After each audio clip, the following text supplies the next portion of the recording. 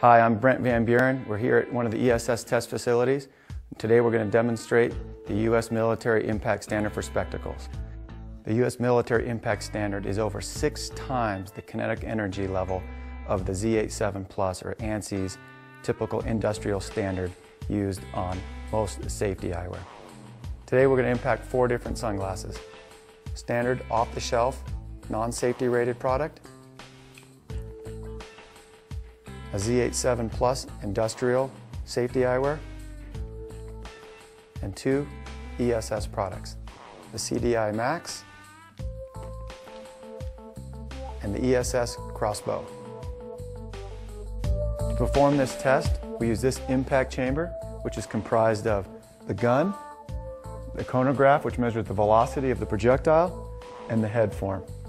This test uses a 15 cal projectile Spec'd in by the U.S. military, it's hardened steel with a chisel point. It travels at 640 to 660 feet per second. First, let's shoot the store-bought, non-safety rated eyewear.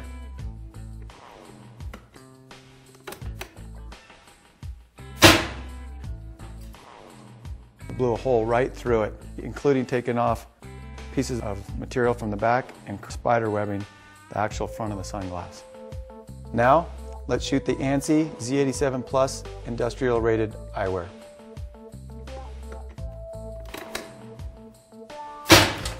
Wow. You can clearly see that this product, although it's designed for Z87 Plus, does not meet the military standard. Now, let's shoot the ESS CDI Max mil rated sunglass. And you can see the CDI Max didn't have any penetration or cracking, hence passing the military standard.